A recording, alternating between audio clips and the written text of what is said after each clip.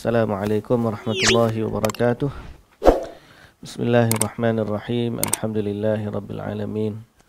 والصلاة والسلام على أشرف الأنبياء والمرسلين. نبينا محمد وعلى آله وصحبه أجمعين. رب اشرح لي صدري ويسر لي أمري واحلل عقدة من لساني يفقه قولي. أما بعد. Puji dan syukur bagi Allah Subhanahu wa taala Tuhan pemilik sekalian alam. Selawat serta salam atas nabi junjungan kita Nabi Muhammad sallallahu alaihi wasallam. Juga atas ahli, keluarga baginda, para sahabatnya dan para pengikutnya yang setia sehinggalah ke hari kiamat. Alhamdulillah. Muslimin dan muslimat yang dirahmati Allah Subhanahu wa taala sekalian, dan sahabat-sahabat PQDM khususnya Alhamdulillah pada pagi ini kita sekali lagi dapat uh, menyambung siri bacaan kita dalam kitab um, 10 prinsip manhaj salaf. Itulah prinsip-prinsip yang diimani oleh generasi-generasi terdahulu.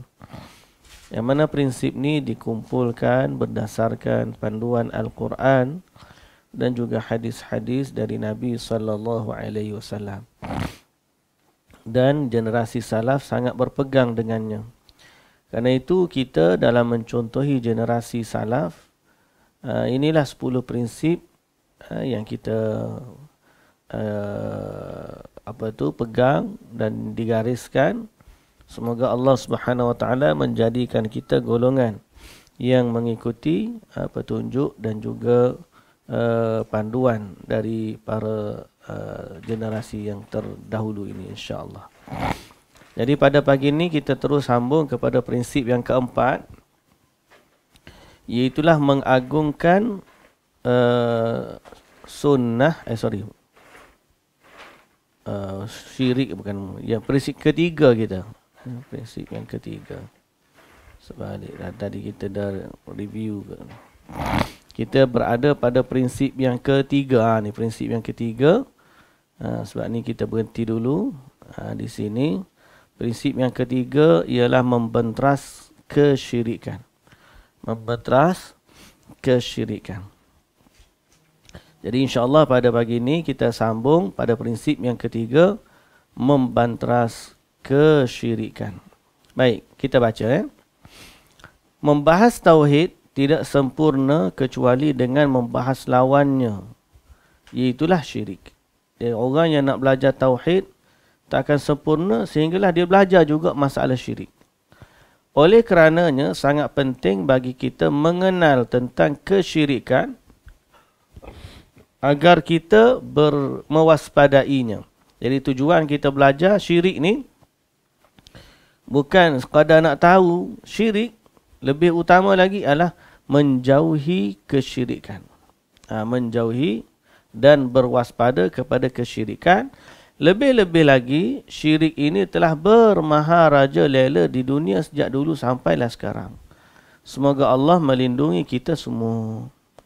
Jadi, zaman ni makin lama makin banyak bentuk-bentuk kesyirikan. Ha, yang bermaharaja lela. Ha, jadi, kita sangat-sangat penting untuk mewaspadainya. Hmm, mewaspadainya. Uh, sebab kadang-kadang bila orang tak tahu itu syirik, dia tak anggap benda ni syirik. Padahal jelas dia sebahagian daripada syirik. Uh, sebagaimana yang berlaku. Kita baca dulu definisi sebelum kita bincang uh, dengan lebih lanjut. Baik, definisi syirik syirik adalah mensejajarkan selain Allah dengan Allah dalam hal-hal yang merupakan kekhususan bagi Allah. Ha, macam mana tu? Mensejajarkan sesuatu selain Allah dengan Allah dalam hal-hal yang merupakan kekhususan bagi Allah. Eh, benda tu hak milik Allah sahaja. Tiba-tiba ada seorang mengangkat makhluk yang lain selain dari Allah, dia letak sama levelnya dengan Allah. Maka syirik lah. dalam apa jua hal yang menjadi khusus pengkhususan atau kekhususan bagi Allah Subhanahu Wa Taala. Itu definisi. Jadi macam mana bentuk-bentuk syirik tu? Jika tauhid terbahagi kepada tiga, rububiyah, uluhiyah, asma wa sifat yang kita dah baca pada pertemuan yang dulu, kerana hal tiga hal itu menjadi kekhususan bagi Allah, maka demikian juga syirik boleh terjadi dalam hal tersebut. Jadi, yang menjadi kekhususan bagi Allah ni tiga. Yang kita panggil pembahagian tauhid itu. Rububiyah, kekuasaan. Uluhiyah, penyembahan dan pengabdian. Tiga, asma dan juga sifat. Okay. Nah, jadi, bila ni tiga perkara menjadi pengkhusus kekhususan Allah, jangan diangkat sesuatu dalam tiga bab ni. Bila dia angkat sesuatu dalam tiga bab ni, tiga uh, perkara ini, maka dia boleh terjerobus ke dalam kesyirikan. Baik, jadi syirik dapat dibahagi ke dalam tiga bahagian. Pertama, syirik dalam rububiyah. Bagaimana? Rububiyah ni apa? Kita dah sebut tentang kekuasaan. Af'alullah. Allah Ta'ala berkuasa memberi rezeki, menciptakan, menghidupkan, mematikan. Itu semua tentang perbuatan dan kekuasaan Allah Azza wa Jalla. Iaitu, jadi syirik dalam rububiyah ni, iaitu, jika seseorang meyakini bahawa ada selain Allah yang boleh menciptakan, memberi rezeki, menghidupkan atau mematikan dan lainnya dari sifat-sifat ar-rububiyah. Orang seperti ini keadaannya lebih sesat dan lebih jelek dari orang-orang kafir terdahulu. Kerana orang-orang terdahulu beriman dengan rububiyah. Namun mereka menyekutukan Allah Ta'ala dalam uluhiyah. Sebagai bukti firman Allah dalam surah Luqman ayat 25, "Wala in sa'altahum man khalaqas samawati wal arda la yaqulunna Allah." Qulil hamdulillah bal aktsaruhum la ya'lamun. Dan sesungguhnya jika kamu tanyakan kepada mereka, siapakah yang menciptakan langit dan bumi, tentu mereka akan menjawab Allah. Katakanlah, segala puji bagi Allah tapi kebanyakan mereka tidak mengetahui. Ha, baik. Zaman kita ni, kalau tiba-tiba orang kata ada pihak lain yang berkuasa mengatur alam semesta. Ha, kadang-kadang diterjemahkan dalam bentuk kepercayaan mereka terhadap wali-wali. Contohlah, ada orang mengatakan bahawa di antara kekuasaan wali ini ialah mengatur alam semesta. Kalau dia percaya perkara tersebut, maka dia telah berbuat syirik. Sebab ini adalah hak Allah, rububiyah, mengaturkan alam semesta. Tak kira lah kadang-kadang dia datang guna nama Nabi. Dia kata Nabi Khidir. Boleh menjaga kita. Menjaga zuriat keturunan kita. Keluarga kita. Ah, dia guna nama Nabi Khidir. Ataupun dia guna wali kutub. Istilah wali kutub. Wali ni yang berkuasa mengawal alam semesta. Hujan ke, kemarau ke, malapetaka ke. Dia sebut bahawa inilah yang berkuasa. Maka dalam keadaan ini, kalau dia meyakini iktiqat ada sesuatu yang mengawal, mengatur, mencipta, mentadbir, menghidupkan, mematikan, memberi manfaat dan memberi mudarat, maka dia telah syirik kepada Allah dalam bab ar-rububi, ar-rububiyah. Ha, ini lebih teruk daripada orang dulu. Orang dahulu, walau semua berhala, bila tanya siapa cipta langit dan bumi, dia kata Allah. Habis tu kenapa sembah ni? Perantara. Ha, dia kata lagu tu. Ini tak dia yakin ah wali ni yang jaga alam semesta. Ah ni syirik tuan-tuan, syirik. Walaupun dia tak kata wali tu Tuhan, tapi meletakkan sifat Tuhan kepada wali tersebut adalah syirik. Ha. Yang kedua, syirik dalam al-uluhiyah.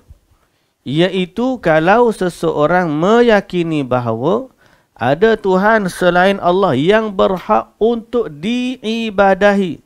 Seperti doa, menyembelih, tawakal dan lainnya dan lain sebagainya. Eh, sebagai contoh, eh, dalam bab ibadat, dia pergi ke kubur, dia berdoa minta kepada ahli kubur.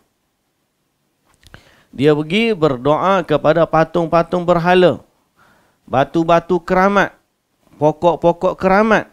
Nah, ini semua adalah syirik. Menyembelih kerana menyembelih itu ibadat. Dia pergi sembelih ayam dekat dengan patung pokok besar. Dia pergi sembelih binatang dekat dengan kubur. Dia alirkan darah untuk jin atau sesembahan mereka. Ataupun mempersembahkan uh, bentuk korban. Zaman dulu korbanlah kemudian ditukar. Dia sepersembahkan makanan. Bagi kuih, bagi kek, bagi pulut kuning, bagi apa. Lalu dihanyutkan ke sungai untuk dipersembahkan kepada penjaga sungai. Ha, maka semua ini adalah bentuk kesyirikan dalam bab ibadah. Dalam bab ibadah atau kita panggil dalam bab al-uluhiyah. Ha, so hati-hati. Ha, jangan sampai syirik dalam bab ibadah.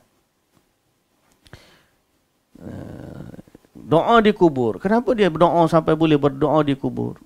Ha, sebab dia kata orang dalam kubur tu boleh memakbulkan hajat mereka. Ha, itu syirik lah. Satu, syirik uruhiyah. Mereka berdoa di kubur. Yang kedua, mereka intiqad. Orang dalam kubur boleh memakbulkan hajat mereka. Ha, itu dua kali.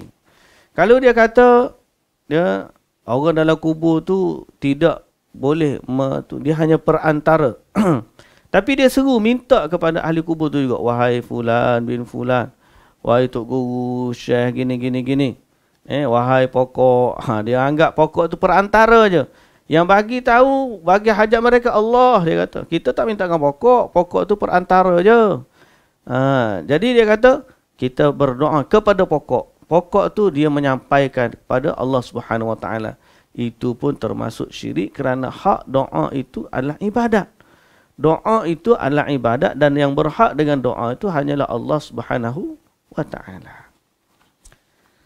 Baik, Allah Subhanahu wa taala berfirman, "Ya ayyuhan nasu ubudu rabbakumul ladzi khalaqakum wal ladzina min qablikum la'allakum tattaqun." Wahai manusia, sembahlah Tuhanmu yang telah menciptakanmu dan orang-orang sebelum kamu agar kamu bertakwa. Yakni, sebagaimana kalian meyakini bahawa Allah yang menciptakan kalian, maka hendaknya kalian hanya beribadah kepadanya sahaja. Tidakkah tidaklah kalian tidaklah kalian merasa takut untuk menjadikan sekutu bagi Allah dalam ibadah padahal kalian meyakini hanya Allah yang menciptakan dan mematikan. Hanya Allah yang menciptakan dan mematikan. Sebab tu antara ubudiyah dengan rububiyah ada hubung kait. Kerana Allah memerintahkan kita agar menyembah Tuhan yang mencipta. So mencipta itu kerja rububiyah. Perbuatan Allah mencipta kita. Perbuatan kita beribadah kepada Allah. Jadi mesti ada hubung kait. Iaitu ibadat kita mesti dipersembahkan kepada Tuhan yang menciptakan kita. Jadi sekarang ni pokok besar. Dia ke cipta kita? Tak.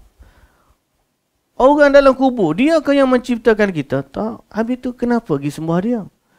Jadi dia tidak berhak untuk menerima pengabdian daripada manusia. Kerana dia sendiri adalah hamba yang dicipta. Dia tidak memiliki satu pun daripada hak-hak kekuasaan Tuhan. Jadi tidakkah kita merasakan takut? Apabila berlakunya penyembahan kepada selain dari Allah. Sedangkan yang mencipta hanyalah Allah Azza wa Jalla. Ha, maka syirik dalam ibadat. Syirik dalam uluhiyah ialah syirik dalam mengabdikan diri kepada selain Allah. Okay. Semua yang menjadi hak milik Allah. Syirik dalam al-asma wa sifat. Yang ketiga, iaitu kalau seseorang mensifatkan sebahagian makhluk Allah dengan sebahagian sifat-sifat Allah yang khusus baginya. Contohnya meyakini bahawa ada makhluk yang mengetahui perkara-perkara gaib. Ya, sifat Allah. Allah Ta'ala kata dalam Quran, yang tahu benda gaib hanyalah Allah. Tuhan pemilik sekalian alam. Ya, sebagaimana jelas dalam Quran Allah Taala sebut Qul la ya'lamu man fis samawati wal ghaiba illa Allah. Katakanlah wahai Muhammad tidak ada seorang pun di langit dan di bumi yang mengetahui benda gaib kecuali Allah. Tiba-tiba dia kata Nabi Muhammad tu dia tahu benda gaib. Jadi kita boleh tanya, minta dengan Nabi sallallahu alaihi wasallam. Itu dua benda yang dia kata Nabi tahu benda gaib pun dah salah dah. Sebab Allah Taala kata hanya Allah yang Taala tahu, Allah Taala tahu benda gaib. Okay? Ha, jadi kalau ada berintikad ada orang lain yang tahu benda gaib, maka ini syirik. Syirik kepada kepada sifat-sifat Allah. Yang lain pun sama gitu juga. Ha, syirik Uh, sifat uh, kebenaran, uh, sifat apa lagi kekuasaan, menghalalkan, mengharamkan. Ne? Semua ni adalah syirik dengan nama dan sifat bagi Allah Subhanahu wa taala. Okey. Hmm. Ada orang Ha, dia menganggap kekuasaan dia tu menyebabkan dia rasa dia ni Tuhan. Padahal kekuasaan dia tak sebanding pun dengan sifat Tuhan. Apa yang menyebabkan Fir'aun, Namrud mengangkat diri mereka setanding Tuhan. Kerana mereka merasakan kekuasaan mereka sampai ke level Tuhan. Padahal tak sama antara kekuasaan manusia dengan kekuasaan Allah pencipta sekalian alam. Baik. Kita sambung lagi muslimin dan muslimat yang dirahmati Allah. So kenapa kita sebagai ahli at-tauhid takut kepada syirik? Selain daripada kerana kita menjaga tauhid yang sangat besar uh, urusannya dalam kehidupan kita, kita takut kepada syirik kerana dia adalah dosa yang paling besar yang sangat berbahaya. Orang tak anggap benda ni bahaya. Dia rasa macam syirik ni dosa syirik. Ha. Dia tak sedar bahawa dosa syirik membatalkan tauhid. Dia buka dia bukan kata ada orang solat, ada orang uh, apa tu dalam masa dia uh, solat dia juga minum arak. Contohlah ni. Dia solat, dia minum arak. Dia salat, dia mencuri. Yang ni ibadat, yang ni maksiat. Yang ni ibadat, yang ni maksiat. Dia rasa maksiat tu berat. Tapi dia tak sedar. Dosa syirik ni bukan macam dosa-dosa lain. Orang yang berbuat syirik besar, pertama dia tidak akan diampuni oleh Allah jika dia mati dan belum bertaubat. Oleh kerana syirik dosa besar ni, syirik besar ni sangat besar, Allah Ta'ala tidak akan ampun. Kalau dia mati dalam keadaan tidak bertaubat. Dan inilah ke, uh, besarnya dosa syirik. Bukan kata kita yang letak kaedah tu. Sebaliknya dia adalah ketetapan yang telah dibuat oleh Allah Azza wa Jalla. Kata Allah Subhanahu wa Ta'ala, Inna Allah la yaghfiru an yushraka bihi wa yaghfiru ma duna dhalika liman yasha. Wa man yushrik billahi faqad iftara ithman azima. Sesungguhnya Allah tidak akan mengampuni dosa syirik dan dia mengampuni segala dosa yang lain dari syirik bagi siapa yang dikehendakinya. Barang siapa yang mempersekutukan Allah, maka sesungguhnya dia telah berbuat dosa yang besar. So, ini bahaya syirik yang paling utama. Kalau dia mati dalam keadaan syirik besar tu, dia tidak akan dapat keampunan dari Allah buat selama-lamanya. Okay? Buat selama-lamanya. Yang kedua, ha, bila kita kata tadi, orang anggap dosa semayang, dosa minum arak. Jadi semayang, semayang lah. Minum arak, minum arak lah. Kita buat taat, dalam masa yang sama kita buat maksiat. Nanti akhirat nanti kita timbang lah. Hak mana lebih banyak, mungkin dia lebih berat. Masuk syurga dah juga kita, insya Allah Dia katalah. Tapi kalau dia baca dalam Quran, Allah Ta'ala sebut tentang bahaya syirik ni. Jika seseorang berbuat syirik besar, seluruh amalannya akan terhapus. Makna kata, dia salat tadi kan. Kalau dia salat minum arak, maka dia ada dia ada pahala, dia ada dosa. Dia ada ibadat, dia ada maksiat. Jadi akhirat nanti kedua-duanya akan ditimbang. Salat tak kebaikan yang maksiat letak, lepas tu timbang. Ya, okay? Tapi syirik tak berlaku macam tu. Kalau dia salat, kemudian dia buat syirik. Apa yang berlaku? Dosa syirik ni akan membatalkan dan menghapuskan seluruh amalan dia. Sampai hari akhirat, dia dikira orang yang tidak memiliki kebaikan sedikit pun. Sebab apa? Sebab syirik adalah dosa yang membatalkan dan menghapuskan seluruh amalan. Walaupun dia memiliki amalan yang bergunung tinggi. Dia salat seribu rakaat. Ataupun dia buat ibadat 80 tahun. Bahkan boleh kita kata ibadat 100 tahun. Di akhir hayat dia, dia berbuat syirik kepada Allah. Wal'iyadzubillah. Kita berlindung kepada Allah Azza wa Jalla daripada dosa syirik ni. Andai kata tiba-tiba si fulan Seratus tahun buat ibadat. Di akhir hayat dia. Satu tahun. Atau satu bulan. Atau satu minggu. Atau satu hari. Dia berbuat syirik kepada Allah. Lalu dia mati dalam keadaan itu. Seluruh amal ibadat dia sebelum itu akan terhapus. Ini bahayanya syirik. Ha. Dan kita kata macam tu bukan sebab nak menakut-nakutkan. Ini adalah satu ketetapan yang juga disebut oleh Allah Subhanahu wa taala. Allah taala kata dalam surah Al-An'am, "Walau asyraku la habita anhum ma kanu ya'malun."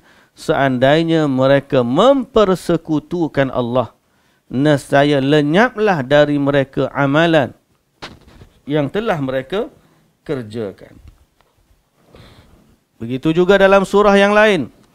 Itulah surah Az-Zumar ayat 65. Kata Allah Subhanahu wa taala, "Wa laqad uhiya ilaika wa ila alladhina min qablika la in asyrakta la yahbatanna 'amaluka wa la takunanna minal khasirin." Kata Allah Subhanahu wa taala, dan sesungguhnya telah diwahyukan kepadamu dan kepada nabi-nabi yang sebelummu bahawa jika kamu mempersekutukan Allah nescaya akan hapuslah amalanmu dan tentulah kamu termasuk orang-orang yang merugi. Jadi ketetapan ni Allah Azza wa Jalla yang tetapkan. Bahawa siapa-siapa yang berbuat syirik maka terhapuslah amalan-amalannya dan hari akhirat dia termasuk dari orang yang rugi. Sebab tu kena hati-hati. Dia bukan satu perkara yang ustaz saja cuba cerita nak menakut-nakutkan. Jangan syirik, jangan syirik, jangan syirik. Alah ustaz ni sikit-sikit syirik, sikit-sikit syirik. Sikit-sikit berdoa, sikit-sikit syirik.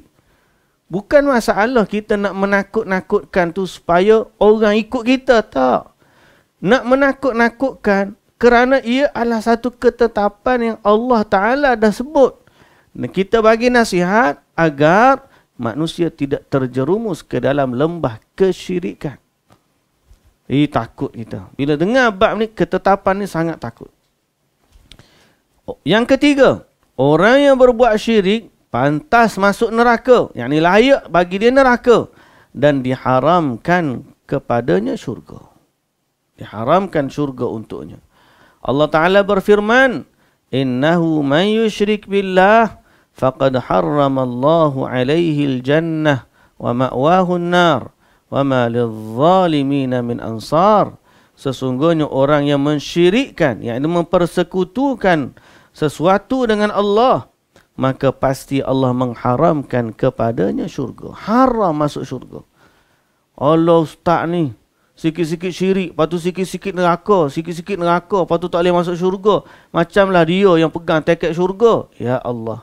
Tuan-tuan, kita memang tidak pegang tiket syurga. Tapi ini satu ketetapan oleh Allah Azza wa Jalla. Kalau kita tak bagi tahu kepada manusia akan ketetapan Allah macam ni, bagaimana nanti orang yang jahil, dia terlibat dalam syirik, dalam keadaan dia buat amal ibadat yang banyak, sampai hari akhirat, rupa-rupanya, dia tak boleh masuk syurga disebabkan dosa syirik yang ada. Dosa maksiat boleh masuk syurga lagi. Boleh diampunkan oleh Allah Azza wa Jalla. Maksiat-maksiat lain. Mencuri, berzina, berjudi, makan rasuah, minum arak. Semua ni dosa. Tapi tak sama level dengan dosa syirik. Dosa syirik, dia tidak akan diampunkan. Dia tidak dia akan dihapuskan semua amal baik dia dan tidak dapat masuk syurga. Tidak akan dapat masuk syurga. Allah haramkan dia daripada syurga. Pasal apa tuan-tuan? Pasal syurga ni milik Allah. Pahala-pahala ni milik Allah. Jadi kalau dia sembah selain Allah, bahasa mudah tak? Silakan cari syurga lain selain daripada syurga Allah. Dia rajin sangat minta dengan selain Allah. Syirik tu. Syirik ini mempersekutukan Allah. Menjadikan tandingan sekutu bagi Allah. Lagi minta syurga lain. Tapi memang tak ada lah. Tak ada lah syurga lain tu selain daripada syurga Allah. Yang ada selain syurga Allah adalah neraka. Jadi sekarang ni siapa yang berbuat syirik, Allah Azza wa Jalla telah buat satu ketetapan. Semoga Allah jaga kita semua. Allah buat satu ketetapan bahawa siapa yang berbuat syirik tidak akan masuk syurga. Diharamkan oleh Allah masuk syurga. Dan dia akan masuk ke dalam api neraka. Wal'iyadzubillah. Begitu besar dosa syirik ni. Takkanlah kita boleh buat sambil lewa. Yang keempat. Syirik adalah seburuk-buruk perbuatan zalim. Dan seburuk-buruk dosa. Sebagaimana firman Allah subhanahu wa ta'ala. Wa idh qala luqmanu libnihi wa huwa ya'idhuhu. Ya bunayya la tushrik billah. Inna syirka la zulmun azim. Ketika mana Luqman berkata kepada anaknya, di waktu dia memberikan pelajaran kepadanya, dia berkata, Wahai anakku, janganlah engkau mempersekutukan Allah. Sesungguhnya mempersekutukan Allah adalah kezaliman yang besar. Orang kita ni kadang-kadang bak zalim lain nampak. Zalim makan rasuah. Zalim salah guna kuasa. Zalim buat anaknya ke orang. Sehingga dia boleh puji orang kafir. Tengok tu. Orang kafir lagi baik daripada orang Islam. Dia nampak dosa kezaliman-kezaliman makan rasuah, kezaliman apa tu pecah amanah, salah guna kuasa. Tapi dia lupa. Jangan sampai puji orang kafir. Kerana kesyirikan itulah kezaliman yang paling besar. Kesyirikan itulah kezaliman yang paling besar. Kita boleh mengatakan kita benci kepada dosa-dosa. Tapi jangan sampai memuji dan melebihkan orang beriman. Sorry, orang yang musyrik daripada orang yang beriman. Kerana apa? Kerana natijah dia akhirat nanti sangat jauh bezanya. Orang makan rasuah akan dihukum dalam neraka. Orang minum arak dihukum dalam neraka. Akan tetapi mereka masih ada ruang untuk diampunkan oleh Allah. Dan kemudian dimasukkan ke dalam syurga. Berbeza dengan syirik. Syirik ni kalau dia memiliki atau menyembah Tuhan selain dari Allah, dia tidak akan masuk syurga buat selama-lamanya kerana kezaliman yang dilakukan adalah kezaliman yang paling besar. Ha, jadi orang tak nampak. Zaman ni orang tak nampak ni kezaliman ni. Orang duk nampak kezaliman dari sudut politik, pemerintahan dan juga kezaliman tentang hak-hak manusia. Dia lupa tentang kezaliman dengan hak Allah Azza wa Jalla. Baik, muslimin dan muslimat yang dirahmati Allah. Kita teruskan lagi. Jenis-jenis dan tingkatan syirik. Nah, syirik ni ada dua jenis. Kita pernah bahas dah sebelum daripada ni. Syirik besar dan syirik kecil. Apa beza syirik besar dengan syirik kecil? Syirik besar adalah memalingkan suatu bentuk ibadah kepada selain Allah. Seperti berdoa kepada selain Allah. Atau mendekatkan diri kepadanya dengan penyembelihan korban. Atau nazar untuk selain Allah baik untuk kuburan, jin atau syaitan atau lainnya. Ha, ini memang jelas-jelas memalingkan ibadat langsung daripada Allah dia pergi kepada selain Allah.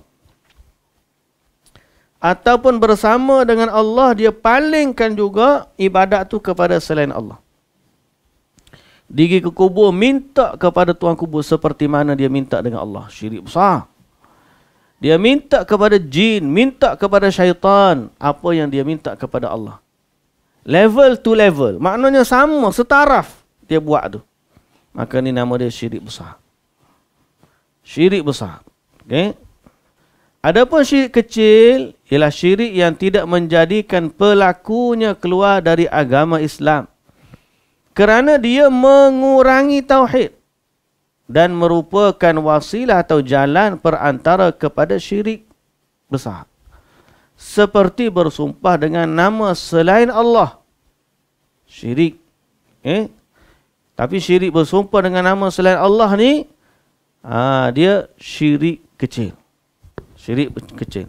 Tapi kalau dia bersumpah dan iktiqat dia, orang atau nama yang dia bersumpahkannya, memiliki hak-hak setanding dengan Allah, maka itu syirik besar. Sebab dia jalan, dia jalan. Kalau dia hanya sekadar perbuatan dia tu syirik, iktiqad belum lagi. Tapi kalau dia sampai kepada iktiqad, syirik kecil tadi boleh sampai kepada syirik besar. Eh? Dia bersumpah dengan nama selain Allah.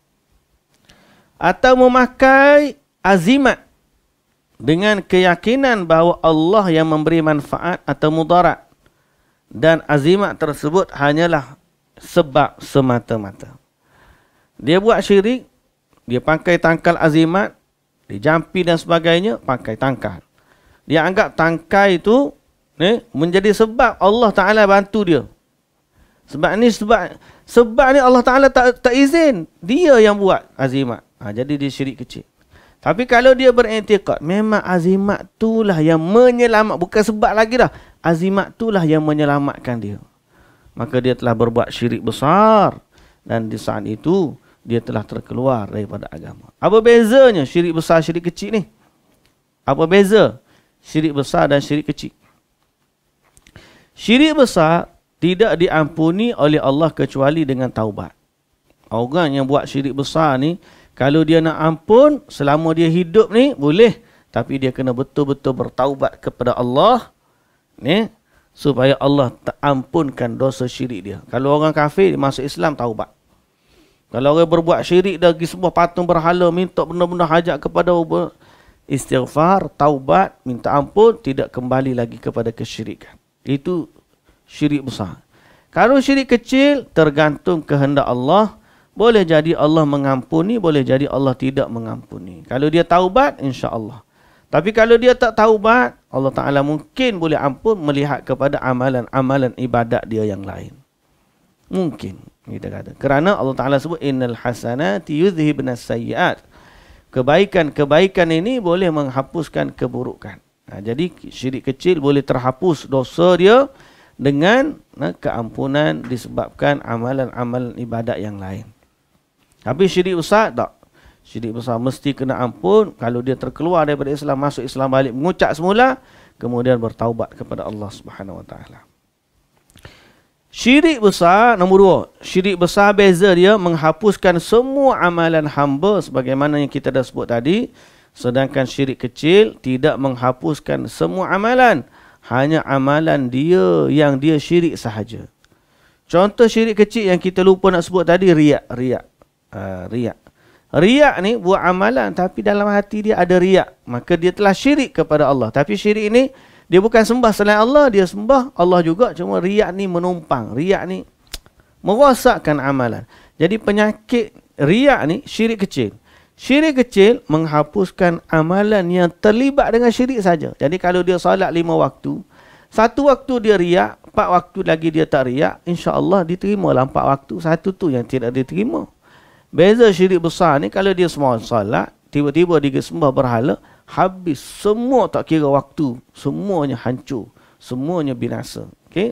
Itu beza antara syirik besar dengan syirik kecil. Yang ketiga, syirik besar ni juga mengeluarkan pelakunya daripada Islam. Bila orang tu buat syirik besar, dia kira bukan lagi orang Islam. Mati pun sebenarnya dihukum sebagai orang yang bukan Islam. Tidak dimandikan, tidak dikafankan, tidak disalatkan jenazah. Kalau dia syirik kepada Allah Ta'ala ni. Okay? Ha. Harta dia tidak dipusakakan. Masa apa dia syirik besar? Tapi kalau syirik kecil, masih lagi boleh disolatkan, dimandikan, dikafankan, dikuburkan di tanah perkuburan Islam. Okay. Tadi mandikan, dikafankan, disolatkan, dikuburkan di perkuburan Islam. Itu semua boleh. Itu beza syirik besar dengan syirik kecil. Yang keempat, paling takut. Syirik besar menjadikan pelakunya kekal di dalam neraka. Dan enggak mungkin Ah, enggak mungkin. Tidak mungkin masuk syurga selama-lamanya. Tidak mungkin. Tidak mungkin masuk syurga. Selama-lama. Bila? Selama-lama. Tunggu tak akan masuk dah tunggu. Allah Ta'ala sebut dalam ayat Quran. Semua ni benda-benda yang kita sebut ni ada sandaran dia daripada ayat Quran ni. Bagaimana kita dah baca tadi. Tapi dalam satu ayat yang lain Allah Ta'ala sebut. Innal ladhina kadzabu bi ayatina. Wastakbaru anha. La tufattahu lahum abu abu sama' Orang yang mensyirikkan Allah, Allah Allah mendustakan ayat-ayat Allah dan sombong. La tufattahu lahum abwabus sama. Dia tidak akan masuk, tidak akan dibukakan baginya pintu-pintu langit. Wala yadkhuluna al-jannata hatta yalijal abal yalijal jamalu fi samil khiyat. Eh, dan tidak akan masuk syurga sehinggalah unta masuk dalam lubang jarum. Unta masuk dalam lubang jarum. Hmm hatta yalijal jamalu fi sammil khiyat. Allahu akbar. Maknanya perumpamaan tu tak akan lah, tak akan sampai bila-bila tak akan. Sedangkan syirik kecil seperti halnya dosa-dosa yang lain, itulah boleh diampunkan dan kemudian dia boleh masuk syurga. Ini beza besar dengan kecil ni. Ha, jangan kita ala sikit je beza, tak ada. Baik, I, bab yang seterusnya dalam bab syirik ni. Mengapa syirik laris manis? Ha, apa faktor penyebabnya? Mengetahui sebab-sebab terjadi ke, terjadinya kesyirikan adalah perkara yang sangat penting dalam rangka menghindarkan diri dengan sejauh-jauhnya darinya, yakni dari syirik tu. Jadi apa yang menyebabkan berlakunya syirik ni? Ha, apa yang menyebabkan berlakunya syirik ni? Dia tak berlaku dengan begitu je. Dah. Sebab semua orang fitrah ada.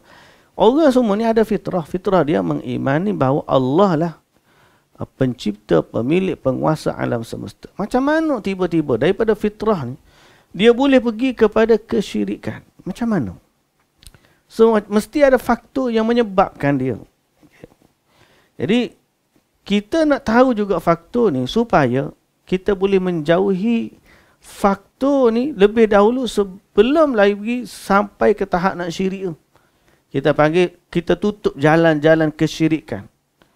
Kita tak nak berlaku syirik dan kita tak nak terlibat dengan syirik. Jadi, kita tutup pintu-pintu kesyirikan. Ha, apa dia pintu yang menyebabkan kesyirikan?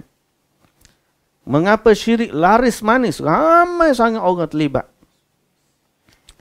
Okay? Ha. Sebab-sebab kesyirikan sangatlah banyak. Di antaranya ialah nombor satu. Berlebih-lebihan kepada orang soleh. Ini faktor syirik ni. Mula-mula, ustaz, ustaz, ustaz. Lepas tu, syekh, syekh, syekh. Lepas tu Syekh, tuan guru, tuan guru, tuan guru. Ha, atau tuan guru dulu share dulu tak kira lah nama je tu. Lepas pada tu dia pun angkat tok guru dia ni wali. Ah wali wali. Dia tahu tahu. Dia kata kita pergi dengan tok orang wali tu. Janganlah duk sembang benda-benda apa. Dia tengok muka kita tu, dia tahu habis dosa pahala kita. Wali. Dia tengok rupa je, dia boleh cakap dengan kita ni macam dia tahu tahu kita background macam mana begini gini gini. Dia bagi nasihat tu memang kena ni atas batang hidung macam kita tak kita tahu pun kat dia. Dia tahu apa yang berlaku, dia tahu benda gaib ni. Ah nampak. Dia punya tahap wali tu, tahap ta'assub tu, tahap berlebih-lebihan kepada orang soleh menyebabkan dia angkat orang tu ke tahap Tuhan. Sebab sifat tu sifat Tuhan. Mana? Ah. Hal ini merupakan penyebab kesyirikan pertama pada umat manusia iaitu pada umat Nabi Nuh alaihissalam, sebagaimana disebutkan dalam Quran. Di mana Allah Taala kata wa qalu la tadharunna alihatakum wa la tadharunna waddan wa la suwa'an wa la yaghutha wa ya'uq wa nasra. Dan mereka berkata jangan sekali-kali, maknanya mereka orang kafirlah. Jangan sekali-kali kamu meninggalkan penyembahan Tuhan-Tuhan kamu. Dan jangan pula sekali-kali kamu meninggalkan penyembahan Wad. Jangan pula Su'a', Yaghuth, Ya'uq dan Nasr. Imam Al-Bukhari mengeluarkan dalam sahihnya tentang tafsir ayat ini dari Abdullah bin Abbas radhiyallahu anhu bahawa Abdullah bin Abbas berkata ثم صارت الأوثان التي كانت في قوم نوح في العرب بعد. أما ود كانت لكلب بدومة الجندل وأما سواع كانت لهذيل وأما يغوث فكانت لمرادي ثم لبني غطيف بالجوف ثم سبع وأما يعوق فكانت لمحمدان وأما نسر فكانت لحمير لآل ذي الكلاع أسماء رجال صالحين Dia kata asma sampai sini. Asma'u rijalin salihin fi qaumi Nuh.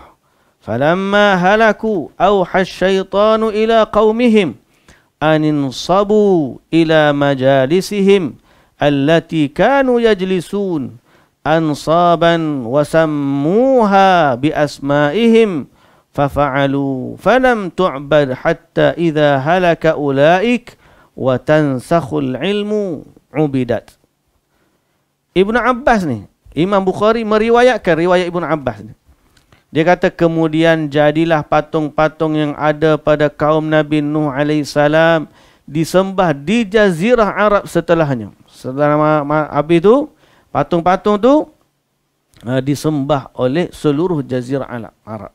Zaman Nabi Nuh mereka sembah patung-patung. Wad okey. Uh, setelah daripada zaman Nabi Nuh tu orang jumpa balik maka Wad jadi patung kepunyaan Kalb di Daumatul Jandal. Suwa' kepunyaan Hudhail. Yaguth kepunyaan Muradi yang kemudian untuk Bani Ghatif di daerah Jauf kemudian Sabak. Ya'uq patung kepunyaan Hamadan. Nasr patung kemudian Himyar di khusus-khususnya keluarga Zil Kala. Kelima nama ini. Okay, habis itu. Ni orang panggil perenggan baru dah ni. Kelima nama ini kata Ibnu Abbas radhiyallahu anhuma adalah nama orang-orang soleh dari kaum Nabi Nuh alaihi salam. Maka tatkala mereka orang-orang soleh itu wafat, syaitan mempengaruhi kaum Nabi Nuh agar membuat patung-patung pada majlis-majlis yang mereka biasa duduk padanya dalam rangka mengingati mereka dan syaitan juga mempengaruhi mereka agar mereka menamakan patung-patung tersebut dengan nama-nama orang salih tersebut. Maka mereka pun yakni kaum Nuh melakukannya dan ketika itu mereka yakni patung-patung itu belum disembah. Jadi asalnya Bila orang soleh ni mati, syaitan kata buatlah patung. Letak tempat hak dia duduk sebab sentiasa buat ibadat tu. Ha, mereka pun buat. Akan tetapi, masa tu dia belum lagi disembah. Akan tetapi, tatkala orang-orang yang membuat patung itu meninggal dan ilmu agama telah hilang, maka patung-patung itu pun disembah. So, sebab syirik yang pertama ialah melampau terhadap orang-orang soleh. Ha, melampau terhadap orang-orang so soleh. Jangan. Sifat melampau ni bahaya. Mana? Ha, dalam agama ni, berlebih-lebihan kepada orang soleh ni bahaya. Ha, ada orang sampai anak bini pun dia bagi kepada tok guru dia ni. Ha, ha, agama-agama lain pun sama. Dalam Islam pun kadang-kadang ada sampai tahap macam tu. Sebelum daripada pergi kepada tok uh, kahwin, serah dulu tok guru dia ke uh, isteri dia kepada tok guru. Uh, ada. Uh, kita dengar benda ni berlaku. Sehingga dalam amalan-amalan Syiah dia ada nikah mut'ah. Dia bagi kepada tok guru dia dulu. Uh, ada. Benda-benda macam ni jahat. Eh? Berlebih-lebihan kepada orang salih ni tak boleh. Jangan sampai menuhankan mereka. Okay. Yang kedua, ta'asub fanatik terhadap peninggalan nenek moyang. Walaupun itu batil dan menyelisihi yang hak khususnya dalam masalah akidah. Sebab syirik yang kedua ialah dia ikut nenek moyang. Kata Allah Subhanahu wa taala, "Wa idza qila lahum ittabi'u ma anzala Allah" Qalu bal nattabi'u ma alfayna alayhi aba'ana Awalaw kana aba'uhum la ya'qiluna shay'an wa la yahtadun dan apabila dikatakan kepada mereka ikutilah apa yang telah diturunkan oleh Allah, mereka menjawab tidak, tapi kami hanya mengikuti apa yang telah kami dapati dari perbuatan nenek moyang kami. Apakah mereka akan mengikuti juga walaupun nenek moyang mereka itu tidak mengetahui sesuatu apapun dan tidak mendapatkan petunjuk. Alasan inilah yang sering dijadikan alasan oleh sebahagian masyarakat yang mempertahankan kesyirikan pada zaman dahulu sehingga sekarang itu alasan ia merupakan budaya warisan nenek leluhur. Ini kearifan lokal dan lain sebagainya Padahal semua adat istiadat dan budaya yang bertentangan dengan syariat maka tidak boleh dipertahankan dengan kesepakatan ulama. Tak boleh ni ni dah budaya-budaya nenek moyang kita dulu buat macam ni, macam ni, macam ni. Eh kalau yang nenek moyang buat tu tak menyalahi syariat tak apa, teruskanlah.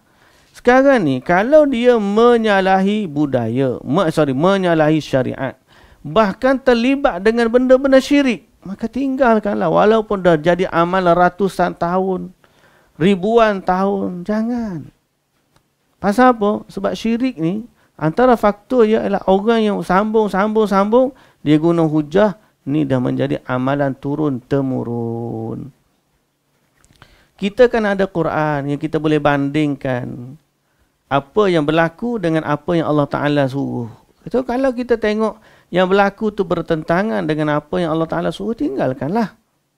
Ha, jangan sebab dah boleh naik moyang kita dah buat lama takkan tidak boleh buat. Ha. Maka jadikan prinsip kita membiasakan yang benar bukan bukan membenarkan kebiasaan. Biasakan yang benar. Ha. Bukan membenarkan kebiasaan. Macam mana? Orang lain dah buat takkan salah betul lah tak? Tak kita kena membenar membiasakan yang benar. Jadi kalau orang tak biasa yang benar tu, kita buat buat buat tinggalkanlah yang tidak betul, jangan biasakanlah yang betul. Yang ketiga sebab kejahilan atau kebodohan terhadap akidah yang benar. Hmm. Banyak orang terjerumus ke dalam syirik sebab dia tak nak belajar akidah yang benar. Dan dia tidak mengajarkannya atau sangat sedikit pemerhatian dan pemeliharaan terhadapnya Sehingga melahirkan generasi yang tidak kenal akidah yang benar. Eh dia kata saya tak tahu pun benda ni syirik. Takkanlah syirik kot. Ha. Dia jahil, dia tak anggap benda tu syirik. Dia minta doa dengan Jibril. Jibril kan nama malaikat. Takkanlah kita tak boleh minta dengan Jibril. Nabi Muhammad kan Nabi kekasih Allah. Takkanlah kita tak boleh minta dengan Nabi Muhammad. Eh, setinggi-tinggi, semulia-mulia makhluk pun tidak akan dapat jadi tandingan dan sekutu bagi Allah. Fahamkan itu.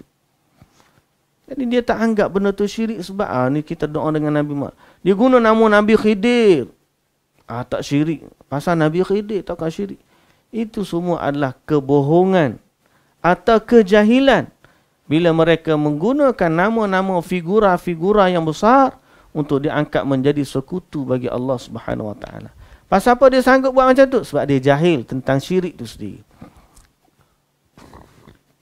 Sehingga dia tidak mengenal hal-hal yang menyelisihi dan membatalkan akidah yang benar. Sehingga pada akhirnya dia meyakini yang batil itu hak, yang hak itu ba batil. Kita ajak kepada tauhid, dia kata kita tak betul. Dia buat benda-benda syirik, dia kata dia betul. Ha, ini adalah antara kebodohan. Di antara kebodohan tersebut, misalnya pemahaman terhadap tauhid, hanya terbatas pada rububiyah sahaja. Seperti anggapan bahawa orang-orang musyrik dahulu dikatakan musyrik kerana mereka meyakini patung-patungnya mampu menciptakan, memberi rezeki, memberi manfaat dan mudarat. Anggapan ini adalah keasal kesesatan majoriti manusia yang sebab mendasar dari tersebarnya pemahaman ini di kalangan manusia adalah falsafah Yunani yang tercela dan orang-orang yang mengambil ilmu dari mereka dari ahli kalam yang mereka itu memusatkan pemerhatian dan perhatian dalam menafsirkan kalimat tauhid dengan tafsiran rububiyah sahaja. Ha, jahil lah. Sebab dia ingat tauhid ni hanya kata Allah mencipta, Allah menguasai, Allah Allah belaka. Jadi, kalau sembah selain Allah tu tak nama lagi. Ataupun kalau mengiktikat ada sesuatu selain dari Allah, tempat kita berdoa tu. Ini adalah fitnah, kejahilan. Okay. Yang keempat, sebab-sebab berlaku syirik adalah kerana hadis palsu. Ada hadis-hadis hebat dia kata idza a'yan idza a'yatkumul umur fa'alaikum bi ahli al-qubur. Jika kalian ditimpa kesulitan, maka mintalah kepada ahli kubur. Hadis palsu. Hadis ini dusta dengan kesepakatan ulama. Okay. Ha, kata Syekh Abdul Aziz bin Baz rahimahullah, hadis ini mengajak kepada perbuatan syirik kepada Allah. Sebab perbuatan meminta pertolongan kepada ahli kubur termasuk kesyirikan yang amat ketara dengan kesepakatan ahli ilmu dan iman. Okay? Nah, ternyata hadis ni rekaan para pengagum kubur, kuburiyun kita panggil. Ada juga hadis lau ahsana ahadukum dhannahu bihajarin la nafa'ahu Allah seandainya salah seorang di antara kalian berbaik sangka kepada batu, nescaya batu tu akan memberinya manfaat. Oh, dahsyat. Ini juga hadis dusta, hadis palsu. Tidak seada, tidak seorang pun dari ulama kaum muslimin yang meriwayatkannya. Maka hadis palsu. Jadi antara sebab syirik, oh, dengar hadis-hadis palsu ni, jadi iktiqat benda-benda yang palsu. Okay? Ha, jadi hadis palsu ni, ha, kena tegas para ulama tegas, ulama hadis tegas tentang darjat hadis maka berwaspadalah dari tipu daya para penyesat agama. Hmm, tengok-tengok ada palsu ni bertentangan pula dengan ha, hadis-hadis Nabi yang sahih. Baik, kita lanjut yang kelima dan terakhir ni. Sebab masa kita pun nak habis. Ialah cerita-cerita dusta. Penglipular. Ha, dia kata dia pergi kubur begini, begini, dengar begini, begini. Tok Syekh ni, oh Tok Syekh ni tahu tak, dia tunjuk gambar keluar ayam hidup. Orang pun bila mati, orang pun agung-agungkan Tok Syekh ni. Pada cerita hak ayam keluar tu pun cerita palsu dah, cerita bohong dah. Dia buat cerita yang mengajabatkan orang kagum dengan si alim tersebut. Sampai orang mati, orang minta hajat dengan si mati. Padahal cerita-cerita tu dusta je. Dia boleh kata, tak apa, saya cerita je, nak percaya sudah, tak nak percaya pun, biar ikutlah. Itu adalah kebohongan yang keluar setelah daripada kebohongan yang pertama. Kenapa nak sebut cerita-cerita dongeng sebegitu kepada masyarakat? Nak sebut kumpulan dia hebat, orang wali tu begini, begini, begini. Akhir sekali bila orang ni mati, orang cari kubur dia minta. Cerita tentang keramatnya Tok Kenali. Begini, begini, begini. Akhir sekali apa jadi? Cerita tu tak tahu hari mana lagi. Akhir sekali orang anggap pergi orang pergi minta doa di kubur Tok Kenali. Padahal Tok Kenali zaman hidup dia tak seperti mana yang mereka katakan. Dia mengajak kepada tauhid macam Syekh Abdul Qadir Al-Jailani. Syekh Abdul Qadir Jailani waktu dia hidup dia tak ajak orang kepada syirik, dia bertauhid kepada Allah. Tapi bila dia mati orang kata dia adalah sultan para aulia, ketua para wali-wali. Maka bila dia mati orang pergi ke kubur dia minta doa kepada syirik. Ha, cerita-cerita dusta ni kadang-kadang kena kena kena apa tu? Si fulan terpenuhi hajatnya, terselamat dari mara bahaya sebab batu tersebut, sebab kuburan tersebut. Aduh, cerita-cerita ni kadang-kadang pelik. Dan saya uh, bila kita tengok kadang-kadang orang jahil ni dia boleh mengangkat sesuatu setanding Tuhan sama level dengan Tuhan dengan hanya sebab faktor-faktor kecil sebab dia tak tahu tentang level Tuhan tu taruh mana. Saya di India lah, banyak contoh India lah. Kemarin tengok cerita, cerita banyak cerita. Uh, ada cerita ni dia dia dia dia puja satu baldi disebabkan waktu berlaku kemalangan ada baldi ni yang menyebabkan anak dia ni selamat. Anak ni dia berlaku rumah dia ni kena langgar ke lori kemudian jatuh baldi terlungkup selamat anak ni daripada mati. Orang lain mati berlaku. Dia ambil baldi tu dia puja dia sapu setiap minggu dia letak. Lama-lama dia anggap macam dia lah. Baldi ni lah menyelamatkan anak dia.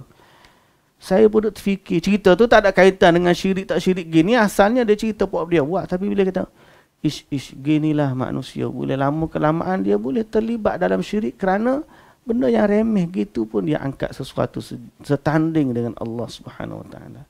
Jadi apatah lagi kalau cerita-cerita dusta yang orang lain buat, tu tu hebat, dapat hajat begitu dan begini akhir sekali ha, dia boleh menyebabkan orang syirik kepada Allah Subhanahu Wa Taala.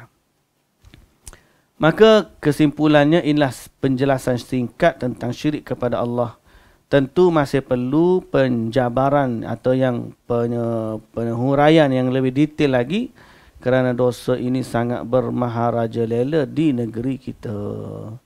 Semoga Allah melindungi kita semua dari kesyirikan. Jadi hati-hatilah eh. Muslimin dan muslimat yang dirahmati Allah. Uh, setakat itulah hari ini kita baca di uh, kelas kita.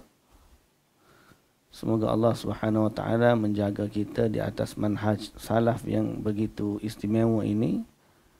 Eh, moga-moga Allah Subhanahu Wa Taala memberikan kefahaman kepada kefahaman kepada kita berkaitan dengan agama kita ni, insya-Allah. Ha, dan kita akan sambung pada minggu hadapan insya-Allah. Hari ini kita siri ke berapa? Siri ke-6. Okey. Baik muslimin dan muslimat yang dirahmati Allah Subhanahu wa taala. Kita tunggu setakat ini dululah dengan tasbih kafarah. Subhanakallahumma wa bihamdika asyhadu an la ilaha illa anta astaghfiruka wa atubu ilaik. Aqulu qawli hadha wa astaghfirullahal azim li wa lakum. Assalamualaikum warahmatullahi wabarakatuh.